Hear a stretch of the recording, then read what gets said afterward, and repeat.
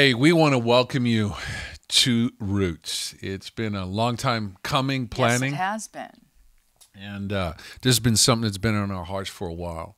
But but what's interesting is is we're not new to podcasting, if that's the term nowadays. Because way back when we did a podcast, probably twelve years ago. Even more than that, more than that. Like, we got to give a shout out to Joseph and Heba Taylor. Yeah. They were on the cutting edge back then. Yeah, they and, were. And uh, that was our first podcast that we did in the context of the International House of Prayer with um, with One Thing. Yeah. And uh, we had probably four thousand, I think it was. People. No, there it was up to ten thousand way back when. really? Yeah, Okay. crazy. And so, uh, so how this how how did this begin? It began with us just talking about what the Lord has done in our lives and where we've been and the journey that we've been on and went wait a sec I think we have something to to share because we, I feel like we kind of figured life out a lot on our own Absolutely. and, and so Absolutely. now we're like let's let's be a guide let's be a coach let's help people and let's give perspective that's real that's you know kind of authentic and we're just gonna we're gonna tell it like it is so to speak And I think what how some of this actually came about was in um, March, just as quarantine 2020 was hitting. yep You know, Jennifer and I were having a conversation, and just you know, just Jennifer's calling before the Lord. oh you Yeah. wanted to share that story I want to go there. sorry you go there then It's just I think. Um, you know, we've been married coming up how many years, Jen? 29, I knew that. I was going to say that. So Yeah. we've been What- coming what up 20 day? August 17th. excellent Thank you. So um, it's just uh, I believe in Jennifer's calling. I believe that she has a message to speak, and so we were having a conversation, and I'm going, you know, we've just moved back to the states. Um, you know, a year ago today okay, don't tell people, but yeah, oh my gosh, that's crazy. so we're having this conversation, and I'm like, Jennifer, I think let's just begin slowly and Yeah. get you kind of postured and started back in the states here, because you know when you leave a country, um, it's just natural. Yeah. Our relationships that we had in ministry when we. All of those things just, you know, kind of dried up for lack of a better term, and we went spent six years, amazing years in, in Brazil, and and so she's like, no, let's do it together. So we had this, you know, Chloe, our middle daughter, would say an hour long argument about it. and and I like us together Yeah. Me too. I do too. Yeah that was really really convincing Dwayne So I'm trying to get to my point. You keep interrupting Okay, me. go. Sorry, so dear. I I was like, no, I, I I I believe that you're supposed to do this. So the strange I thing that happened appreciate. is strange thing happens is the next morning I'm sitting on the couch early in the morning. I'm just talking with the Lord and Mm-hmm. and I just feel like I'm supposed to look up DwayneandJennifer.com. right And I had tried to buy DwayneandJennifer.com. I think even a couple times, but but it was never available. Right. And so I just, you know, that morning I just, you know, went to GoDaddy and boom, um, dollar ninety nine. Come on, we're we're so- on we're on sale. And so I just felt that little nudge from the Lord that we're supposed to do something together. yeah, And so we, Jennifer and I, I love branding and marketing and ideas. And so I'm I'm I'm leading us in a conversation and what are we going to call this? And, Right. and and and what are we going after? Right. What are we aiming for? And what is the purpose? And and I don't like things that are done without without that in mind. You know what Uh-huh, I mean? And so that for me was something in the beginning of our conversation that I Sure. felt was important. yeah, And so um, we just started talking, and I got my yellow pad out and just started writing down everything. right. And you were the one that came up with the name. What was the logic behind it? Well, we roots just uh, roots the unseen life. So Yeah. roots and then the unseen life is the tagline. Um, because I feel like culture is shifting, life is turbulent, things Yeah. are always changing. And the roots that no one sees is what stabilizes a tree. Yeah. And I feel like we have been on a journey of the Lord establishing roots in our lives. Yeah. And and that's not an easy process. And it's actually not one you see because it's mm-hmm. below the surface. Mm-hmm. And the things that are below the surface are the things that actually stabilize you. And so, to me, roots the unseen life. That's what we want to build. I want to build it in myself. I want to help build it in my children. I want to build it in this generation. I want to build it in the nations. That the roots get established, those things that people cannot see, that'll sustain them for decades. And when you look at, um, because you know we don't see the roots, Right. we only see the fruit Right. in a person's life. Right. Whether it's a strong tree with lots of fruit, or if it's a struggling tree and no fruit, Uh-huh. Right. that's all we see. Or or a tree that's been um, pruned. In That's any, painful. In, in any stage, though, Yeah. the root system is essential. Yeah. And that's the part that we want to focus on. So we're we're going to touch on theology. Mm-hmm. I I love theology. We're going to interview a lot of people. Yeah. Um, on We're going to tell our story. and in the context though, but also not only th- theology and our story and how the Bible has has walked that out, but also I want to talk about just those emotional side to our lives. How do, what's the importance of emotions? Yeah. and and and how do I how do I navigate with un, those those emotional th- my emotions that are unseen but yet Right. have such an impact. Right. Uh, we're going to talk a lot of, on truth, Yeah. Um, and and and then I want to talk a lot about biblical success and the importance of being rooted in truth and in Mm-hmm. biblical ideas that help me have much fruit Yeah. you know um, and so we're going to cover a ton of topics um, i realize very much that we're not the experts on many things Right. but we know a lot of people that are. but we're just over the years we've just got some unbelievable rich relationships and so i don't know what the percentage will be but i want to interview a lot of people Yeah. that that'll help just bring understanding clarity and Right. richness to people's lives right. um, a lot of people that have walked the journey that have a root system Yeah. Yeah. you know i've got we're just so blessed with many friends that have so much to say and and i want to i want to go after the controversial topics sexuality um, you know politics all of these things where we can bring in people with wisdom experience and understanding mm-hmm. but but i just think that storms are coming Yeah. we're launching this in 2020 in the midst of i think pandemic. unprecedented challenges on the earth we've Yeah. never had stuff like this before Right. and i'm not a doom and gloom guy but i am saying that now more than ever what is in the, my root system is going to help stabilize me and we Yeah. have to talk about this stuff Yeah, I agree. We we definitely need to talk about it. We need to talk about the the things that are disruptive to our culture and even difficult to maneuver as a believer. Because it is the the way of Jesus is narrow and that leads to everlast, everlasting life, but but broad or the the opinion of the masses yes leads to destruction. Yeah. And so, how do we walk that straight and narrow line of biblical conviction? Not narrow mindedness that we're stupid and Right, ignorant, right. but biblical conviction that causes you to go the same direction of truth and you don't change your conviction because there's a lot of pressure that came at you. yeah And and that's hard to do. really hard It, it's it's really hard to do. Yeah. And it feels like there's an evolution of thought because of cultural pressure. And often, or, or what I'm seeing is people are changing their biblical conviction based on cultural pressure. And that is dangerous and scary. that It's that- not easy to stand firm with that kind of pressure, but that's what we're called to.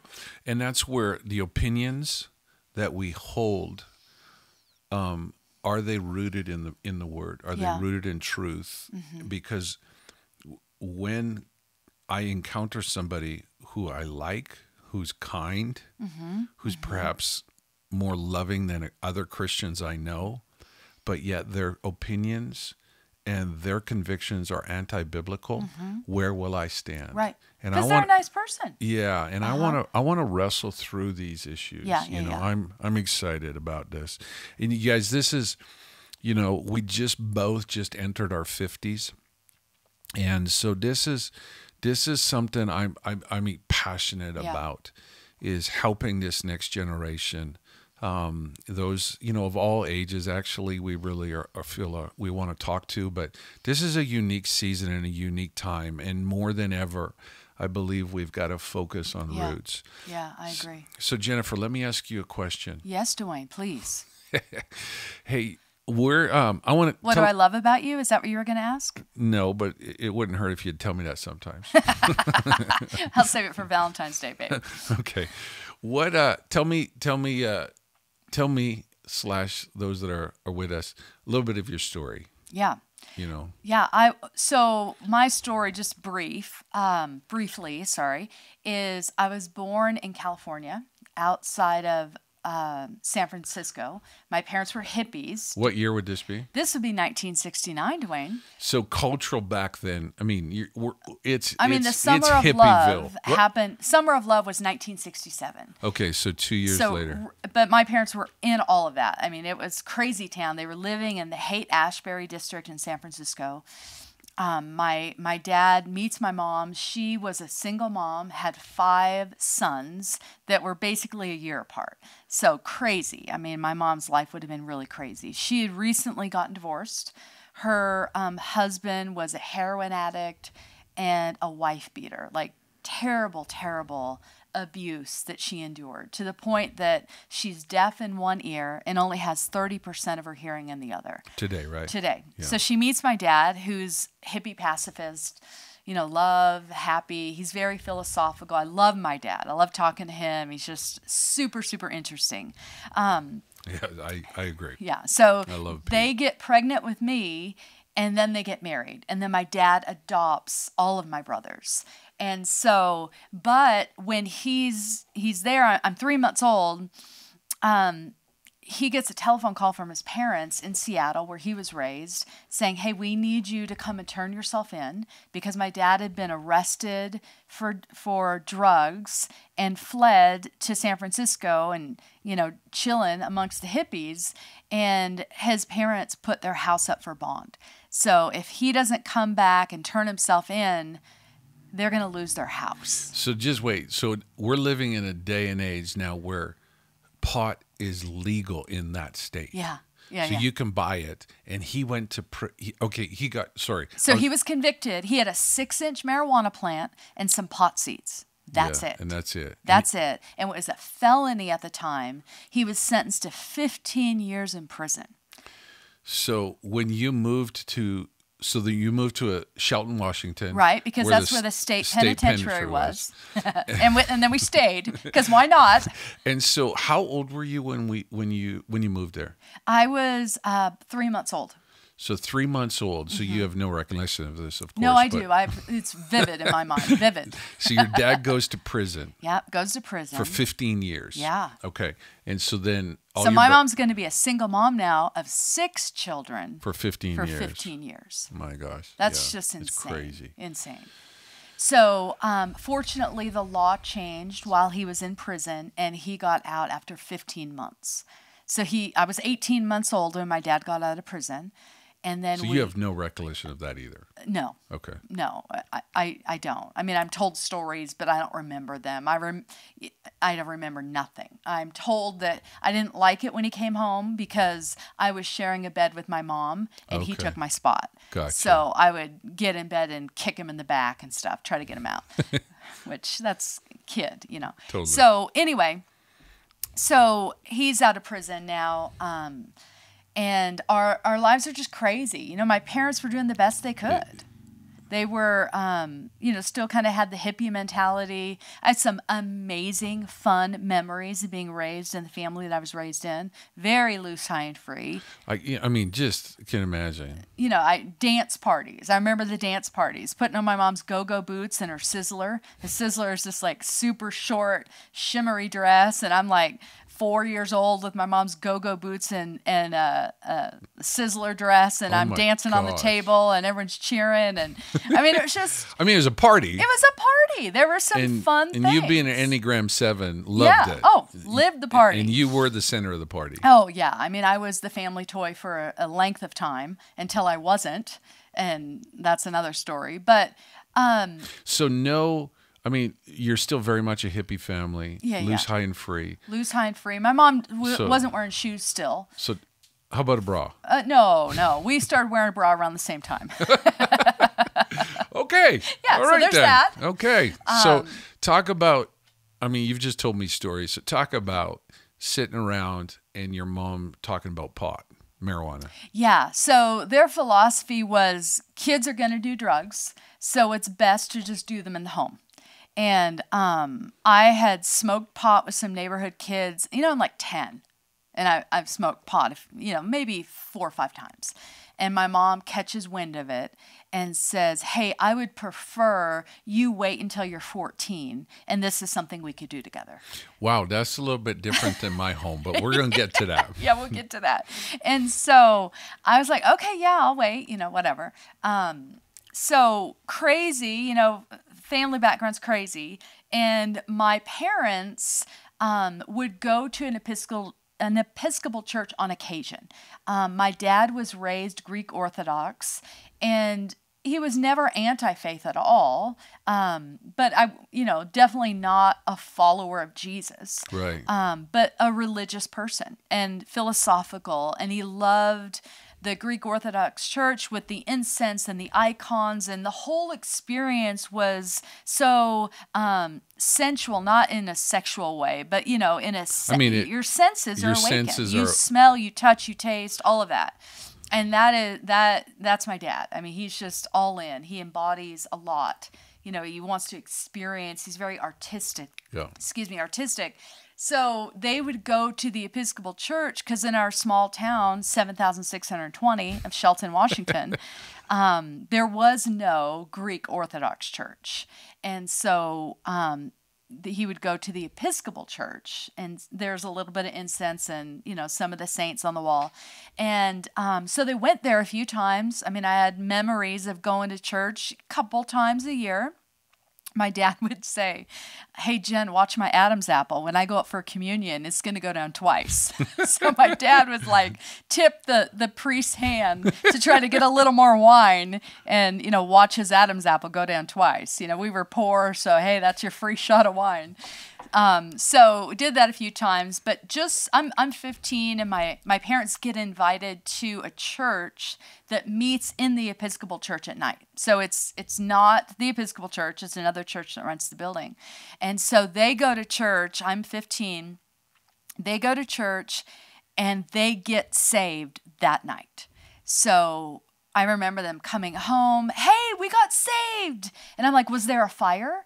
I mean, I had no grit. That language didn't mean anything Well, to you. I like I had no idea what they were talking about. Like saved, saved from what? right, right. And even my dad talking about the cross, I'm like, you mean the necklace? I, I just totally, totally unchurched. No grid for what they were talking about.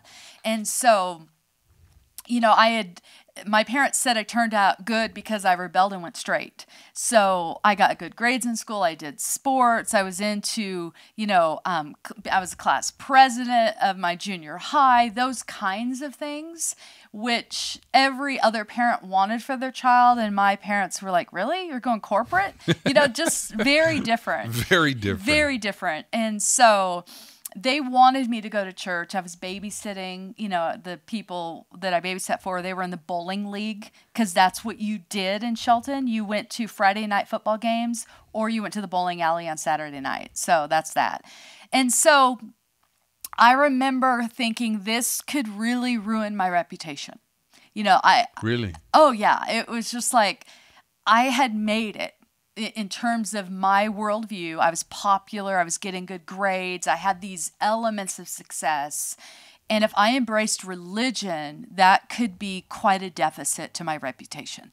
And so had that thought process of, I don't know if this is the way I want to go. Yeah. And so Uh, but they wanted me to go and invited me, invited me, invited me. So I eventually went, and I remember. Um, I mean, I'm walk. I walk into the church, and it's the '80s. My hair's big. I got the plastic earrings, round plastic, massive awesome. earrings. Totally. I had starched my collar straight up. I had my white pumps on to match my white plastic jewelry. I mean, I was I was '80s decked, big hair, the whole bit.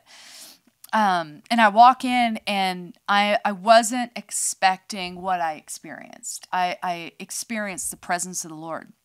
I didn't know that's what it was. I didn't have love language for I love this story. But I remember being drawn, like something felt warm and safe and cozy. yeah. And I'm being drawn to this. But then all of a sudden I feel this disconnection, uh, like a brick wall. And I'm like, ah. And now I know that's my sin. You Yeah. you get drawn, but your sin is a barrier. That's why we needed Jesus to pay the debt so we had access to him. You know what I mean? yeah. So it's that wrestle. And so I'm I'm feeling the presence and I'm and then there's the brick wall and it's like a repeated cycle and, and, and then I I'm freaking out. I'm disrupted for the first time in my life. I don't know what's going on. I had always been so confident and now I'm trembling on the inside. Have no idea what I'm experiencing. I go into the bathroom, I cry and put my makeup back on and cry and you know, like six, seven, eight times go to the bathroom just because I'm so disrupted. Later, after I get saved, the youth pastor, his description of me was, You look like you were just way too cool to be in this service.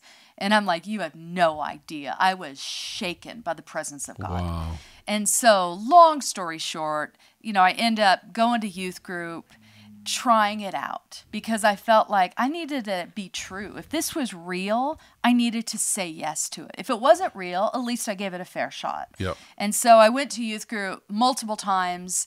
I'm totally unchurched. We have to read the Bible sometimes together in the in the little youth group service, and they would give a scripture. I don't even know how to read a scripture, like you know Revelation four dot dot eight. I don't know what that means. I don't No. need that. I don't know that four is the chapter and eight is the verse. I just don't know anything. So totally unchurched. Totally unchurched. So when I have to That's read different from my Bible sword days. Right. Yeah, up. you're Bible sword guy. and I'm given the book of Revelation. Someone hands me a Bible. I'm supposed to read it. And I mean, this huge book of the Bible, book of Re- I thought the Bible was the book. What do you mean, totally, Revelation? I don't get it.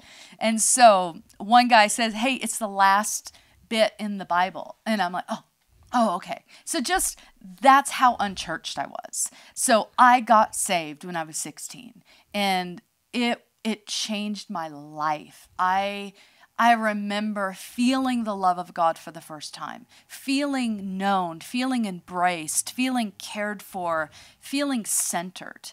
Uh, and, and the feeling of my sin being forgiven. Like, I don't know how this works theologically. I just know that I remember I felt like I had a backpack on with 300 kilos or, or you know, 600 pounds, and it got removed. And that was my sin being taken away. I remember that moment vividly and weeping in the presence of the Lord, feeling his love. Now I went on to being a crazy zealot and did a lot of things wrong and a lot of things right, but so that's my background. Yeah, You know what I mean? crazy, yeah. Crazy. And so talk about your background because we had very different childhoods. Yeah, my I mean, you know, very very different homes we we grew up in. So my, you know, I was born in 1968, Calgary, Canada. Um, my my family were uh, was my dad was a pastor, and so just had a very My dad was a logger. had a very different background. So, uh, born in Calgary, Canada, born you know born and raised in the church. Yeah. Um, my brother said, you know, my my brother led me to the Lord. He was scared I was going to go to hell. Uh huh. So it was at summer camp. I gave my life to the Lord at six. So I was, I was born and raised in that environment. Yeah. Um, something that was, I think, when I look back, extremely important to my life was uh, at at six years old, we moved to Africa for two years. Yeah. So I was, um, we lived in, it used to be called uh, Rhodesia, Uh-huh. but it's now called, uh, you know, Zimbabwe. And so we lived there for two years. and we were missionaries there. My dad took um, stepped in for two years as a pastor and led a Bible school there. And I have v- many memories from that season of my life, Yeah. and I believe that season of my life would be that opened me up yes, yes. and it I've never been the same. I think in regards to my worldview, and now that's impacted me. I've lived in counting Africa. I've lived in six countries Yeah. for, and the shortest was two years, which was Africa. Right. And so I had Africa's a continent, but you mean okay. Thank you, Jennifer. so just helping. but that's um you know and so i was raised in the christian environment all my life Right. you know born and raised. So i did youth group i did church. Back in the day we would do church twice on sundays. Yeah, you'd you have the morning service and the evening service. And so raised in all of that. Right. um one thing that i you know my parents massively i'm grateful for is they really did teach me a hunger for god. Yeah. Yeah. and that was very very important in my life was just that hunger for god Which they still possess today. yeah i mean my mom's passed away Right. But but my dad you know my dad's now 84 and uh, i want to be have that desire to learn and Yeah. grow and and continue that all my life Yeah. and my dad it's been an They- excellent example. and they instilled that into me you Yeah. know that hunger um you know we i had definitely a lot of religion in me um religious activity that was very much formative sure. you know that how do i relate to god i can't say that i had a lively relationship with god But you had a you had the fear of the Lord on you from an Absol- early age. For sure, absolutely. And that's where it's just, you know, our lives were very different. I think something that marked my life probably pretty significantly would be um, just I had a couple people prophesy over me Yeah. That set me on a very different course. Right. And it captured me. Yes. And just talking about the call of God on my life and the call of God in the context of ministry. Yeah. Well, and and one of them being Paul Cain. Yeah. I mean, he it was was- so crazy. My parents were, you know, we had a couple interactions with Paul Cain back in the day, and he, he, him and his um, back then. So if you don't know Paul Cain, he's quite he has quite a prophetic history, and just being well known for being crazy accurate. And he really, he really prophesied into my life a couple of times. And one of them was he called out my parents in a meeting of like, I don't know, 2,000 people or something. And he talked, he called them out, but he talked to them about me. Right. Which is crazy. Yeah, it's crazy. And so where About I, your leadership call and that kind of a thing. and just what the Lord breathed on, I mean, what the Lord put into my heart was Yeah. just this calling of pursuing ministry, being called to ministry. And that really kind of had massively positive impact. But Yeah. as you guys get to hear our story through this, I'll I'll share of how it also wasn't helpful Sure. in me walking walking out and kind of make, but it actually for sure guided my decision making Yes. process. You were focused from a young age. Yeah. And and my personality is to live focused and be passionate, but um that that absolutely totally Yeah. shaped us. Yeah. You know, and so um let's let's let's quickly talk about where we met. Yeah. Um I was a professional downhill skier Yeah. And I was a um, figure skater. and so that brought us together in the 1988 Winter Olympics in Calgary in my city. Right. Yeah. and uh, we say that and people believe us for a split second. until they And then they look at my body and go, oh, I don't think so. So her church came to do outreach at the 1990, 1988 Winter Olympics. My last year in high school, that's, baby. That's where we met. Yeah. And then uh, just kind of quickly fast forward, we both, she, t- I was going to go to do YWAM, Youth with Mission in Hawaii. And she told me a sellout. She was going to do Youth with Mission in Amsterdam, Holland, Right. where, where, the, where they really need missionaries. We're, yeah, you had prostitutes and drug addicts, and you were talking about the righteous beaches of Hawaii. I'm like, hello, compromiser. Long story short, we both go there as singles. We're only friends at the time. Totally. Because I, Um, I thought boys were just a total distraction. We end up back there Yeah. and uh, both on staff now. And so um, it took me a long time to conquer her heart. She wasn't quite sure about, you know, just life. Her parents were just getting a divorce. Yeah. and so you know, just getting divorced, and you going, I don't even know if I want to get married, and so we had a lot to work through. But praise the Lord, man! I the Lord brought brought me to you, and I'm You've been the greatest gift in my life. yeah, it's been you as well to me. It's been an amazing journey.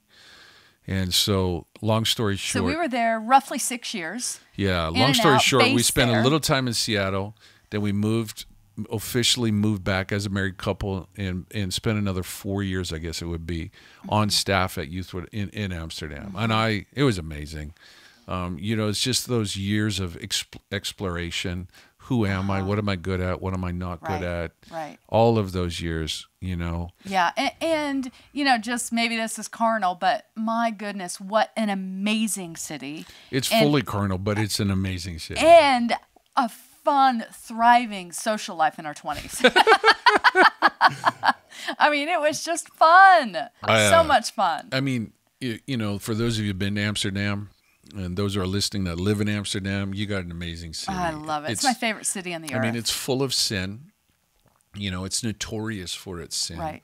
But it's also just the canals at night, Yeah, the walking on architecture. them, the, the coffee. It's amazing. yeah, it was fun. But but I had been doing my job for a while, and I was discontent. Uh-huh. Yes. And Jennifer's like, speaking of roots, she wants to root into Amsterdam, and I'm like, I'm a little bit bored. We've been doing discipleship training schools for a while. Long story short, um, a guy gets up, prophesies over us, and says, uh, Dwayne's leadership gift, it's going to be like a new pair of shoes. They're going to hurt, but the Lord wants to develop you in this. Right.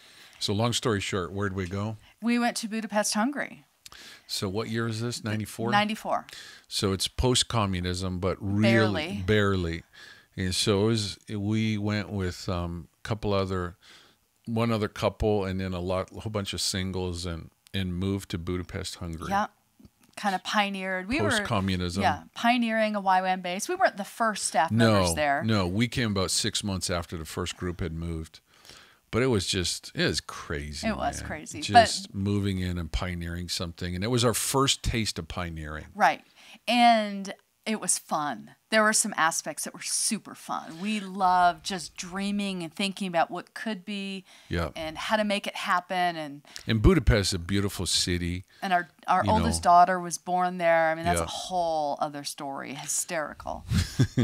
So that, and again, so we this is now entering into the Balkans War. Uh-huh. So we lived there dur- during some of that season as well, and so we went down to former Yugoslavia, down right down into Croatia, Sarajevo, Uh-huh. Sarajevo. where it was one of the true hotspots. Mm-hmm. Um, you know, Belgrade, Romania. Bucharest, all of these cities, Albania, parts Albania, Greece. Yeah. and so that those were just incredible season but it's where um we both but where for me i had a crisis Yeah.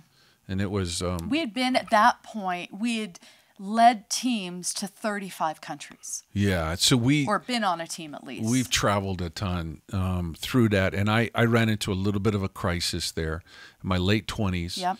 28 29 years old just something's not right with what i'm doing Yeah. the fruit that I longed for. You read John 15, the fruit that will glorify the Father, it wasn't there. Yeah. And so that was hard on me. we could write a great newsletter and we saw amazing things but the the the longevity of what we did it seemed like we would you know plant a church and go back in six months and the church wasn't there anymore Yeah.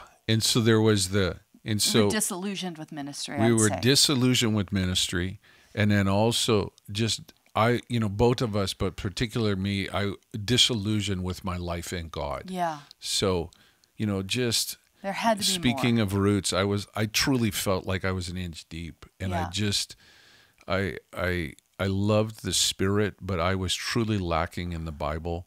I, I did not yet love my Bible at that point in my life. And so, long Right. story short, uh, through God speaking very powerfully, like the first time where God, I mean, we met a guy. I'll give you the quick story. We meet a guy. I introduce myself as, hey, I'm Dwayne, and he goes, "Wow, you're Dwayne. I, the Lord woke me up two weeks ago in the middle of the night and gave me your name." And he then just said, "There's a freshly plowed field. You're going to be planted there." And you're going to have deep roots and have much fruit. The fruit you've always longed The for. fruit you've said. always longed for. And so that guy and that prophetic word, that relationship was actually what shifted us to uh, Kansas City Yeah. in 1998. Yeah. And uh, so, So you know, out of left field. it was like, what in the world? You know, we're living in beautiful Budapest, Hungary, amazing architecture. And then all of a sudden, you know, we're moved to Kansas City, living on an off ramp in the middle like of that. Missouri. It's like, what just happened? What just happened? And Kansas City was not as cool back then. no, now Trust it's me. super cool It's and it's actually a fun place we to were go. just there last weekend. It's an amazing city, but that was not the case. No, not at all. So we are we hanging out there, and we think we're going to be there for a year, and then we're going to figure out how to go back into missions with church planting, and and feeling like it's not so much feeling like our problem is we've been working um, with a Parachurch. parachurch organization. organization, and we now want to work with a church. And, Yeah. And so, long story short, we moved there in August '98. Mike Bickle starts teaching on uh, this thing called a House of Prayer in January of '99. It opens May, and our lives are turned upside down. So many things are making sense. Yeah. Blah blah blah blah blah blah. Yeah. We were we joined staff, and you know We were the very first staff members, which is crazy. We didn't even know we were participating So, in. and back then there was interns and all of that, so it just wasn't Mike Bickle and Dwayne and Jennifer, but No, let's let it go down the history. It was us. if it wasn't for us, the place wouldn't exist, right? Yeah. Let's let's let's do that narrative. yeah. So there was lots of people involved, but you know, when I look at I, those days, I will never forget them. Right. And uh, um, cle- without a doubt, two things that now mark my life Yep. that I learned. Mm-hmm. So this is now I'm like 30, 31 years old. The two things that have now now are foundational values of my life that I was learning back then was my Bible. Yeah. Uh, when Mike Bickle would teach the Bible, it was like it would come alive. And Yeah. I had not been under that type of ministry before. Right. And then the second thing was is I learned how to pray. Yeah. Yeah. And I did not have a life of prayer. I, Right. You know, living in our 20s, I had amazing newsletters, lots of activity, but I did not know how to talk to God and I did not know how to quiet myself so God would talk to me. Yeah. And I would say, like, I, I knew about intimacy with Jesus before that for sure. And it had been Yes, my more- wa- lifestyle. absolutely, way more than me. But it, w- but I had quickly switched the order of the first and second commandment. Yeah.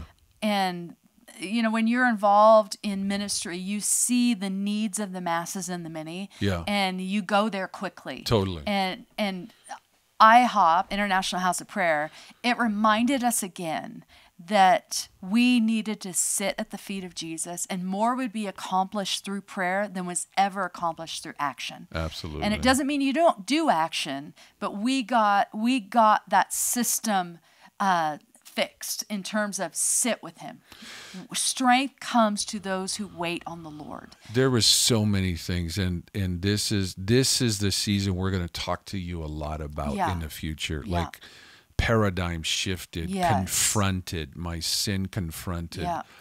divine love encountered oh um, the satisfaction of talking to god the place of intercession the place of you know the return of god. God and all of that. jesus coming back. What in the world? Yeah yeah yeah. So there's so many things I'm excited to part to talk to about a lot like so many things. Like I'm I, I want to help un un unleash this. Uh, not unleash it but unveil some of the truths that have changed my life. Yeah. and I am so I've told this to Mike Bickle several times your teaching has changed my life and etern- my eternal life's going to be different because of it 100% 100% but um, we, long story short, what you know, um, we did so many cool things. I I was the director of the One Thing conference in Kansas City from kind of its its initial years, and I, we did it for nine years. And there's so many things I loved about all of that season. Um, but I had a little crisis again, Dwayne in his crisis, and that began to transition us um, where I began to focus more internationally. And then 2011, 2012, we feel this shifting Right. And it's like, oh, we've been here before. Oh Right. my gosh, what's Right. happening? Right. That was a crazy season. You know, and again, just there's so many things that have this whole roots theme in it. Yep.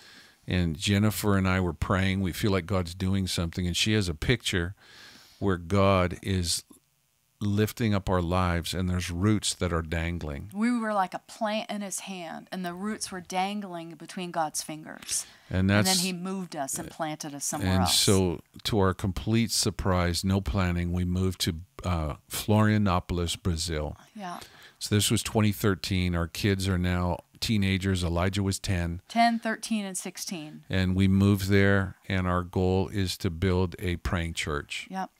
and the first year was just settling in. We did prayer meetings and we started the church. Of when was it? When did we start? April, May of twenty April. April twenty fourteen, right? Mm-hmm. And uh, doubt, doubt again. This is just my gosh, what a what in the world. We're living in Brazil now. Where did all this come from? What does this all look like? But Right. it was amazing.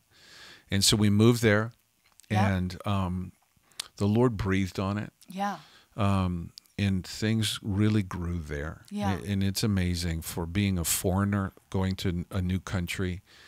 Um, We did everything that the books tell you not to do. I mean, we had Don't no move with totally. the teen, with Yeah, teenagers. absolutely. Don't do that. Don't It'll that. ruin your family. Don't move in your 40s. I mean, All that- of these All of things. these things. And also, just even we were not very conventional in how we started, how we planted. right? But um, what I was just going to say over that season, so we were there for six years. There's a lot to say there. The- we'll hit it more. Absolutely. But it's one of those things where God breathes on something, Uh huh. but yet it is incredibly challenging. Very. and again the lord but i you know i love what's going on there today it's unbelievable It Still exists. It's It- thriving. it's you know vinny and emmy are, are the leaders there and it's it's powerful yeah. um and so but again you know this is we had made a 10 year commitment and because we knew it was going to be hard Right. and we knew it was going to be challenging and so you make this commitment and you go and i'm just the lord hasn't and it's going to take us this long to get it going and so we made that commitment and then just another one of those things where the lord surprised us Right.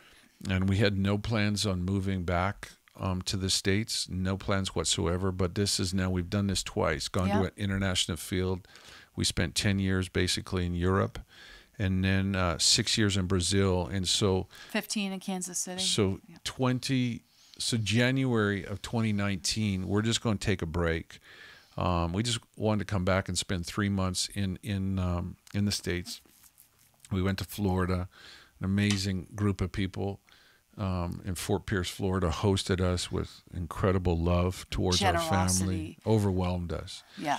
and all of a sudden, oh my gosh, God starts talking. Jennifer and I go on a fast, and boom! Before we know it, we've made the decision. We're we're trans we're we're Moving back to transitioning back to the states. And it, again, it wasn't anywhere in our plans, but the Lord just kind of broke in. Yeah. And you know, third in that season, it was you know just not long ago. No, not know. long ago at all. And and so I would say this, just kind of as we begin to wind things down here, the the the model of missionaries and a house of prayer. I've been a part of it twice. Yeah. So have you. You were yeah. there. Thanks. Thanks for including me in your resume. So, but the thing that we were wrestling with is this is not. It's so challenging to sustain this. Yeah. And then, way more than that, you can't reproduce this. And that's the thing that I was staring at. What do you mean reproduce it? It's so challenging to build a house of prayer. And it's it it'll cost you everything. And then it's so demanding. Yeah. And so it is an a local church can't do a house of prayer successfully very well. It's it's hard. And so the transition in all of that, what was so um, attractive to us to the upper room in in what the Lord is doing with the upper room right now, what attracted us was, for lack of a better term, the model of doing a prayer room um, around prayer in the context of what does it look like to be a local church. Uh-huh. And the rhythm of just normal people participating, not full time. Yeah, not full time. Uh-huh. You know, we use the term intercessory missionary. So that's what attracted us. And so January, February, March 2019, we're talking with the Lord. What in the world? You're moving us back. We have no place to go. Right, right. But let me just interject this because I want to. I don't want this to go down in history that we don't believe in the house of prayer. Um, right. The- right. Because right. there, I believe there'll probably probably will be more mission-based centers of the house of prayer around the globe. Yeah. But it is for the average church, it is just challenging. Yes. And I think when the Lord says, My house will be called a house of prayer for all nations, that He's going to turn local churches into praying churches, which will be more reproducible, more sustainable, Yes. but not to say what Mike Bickle has done, what Billy Humphrey has done, what we did, what other people have done and are doing is wrong. Right. at all. No, that's where, yeah. You don't need to correct me all the time, but that time that I was so it. necessary to be corrected, Dwayne.